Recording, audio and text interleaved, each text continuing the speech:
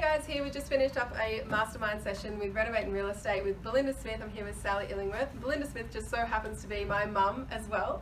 Um, and so we were talking today around uh, getting yourself out there with content, social media, positioning yourself online, building your personal brand in order to build your business. Um, so we're interested to hear from you, Belinda, mum. Um, it, for someone that hasn't grown up with social media, what do you find um, is your biggest tip to start getting yourself out there?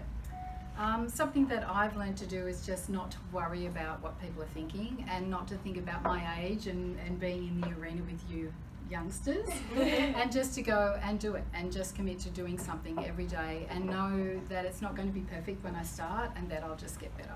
And how have you found that people have responded to it? Because I know I hear from people a lot. They're like, oh, no one wants to hear from me because I'm not one of those youngsters. Yeah. So when you put stuff out there, how do you feel that people respond to it? Like, do people resonate with it and they connect with it and it helps your business and your brand? Yeah, I think they do. Well, people feel like when I'm speaking to people, I talk to them, I've never met them, but they talk to me like they kind of know me already. Yeah. And I'm only going to attract, at my age and on the world, the internet, with you youngies, I'm only going to attract people who are happy to work with me. Yeah.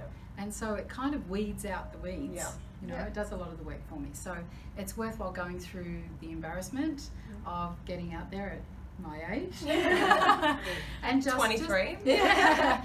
and just going for it because it makes it it's made a difference to my business already. And when we have clients come to us, they no longer talk to us about how much we cost. They no longer talk to us about or I don't feel like they're asking whether we're capable of doing Yeah. the job. Yeah. They're already sold. They already know what we do.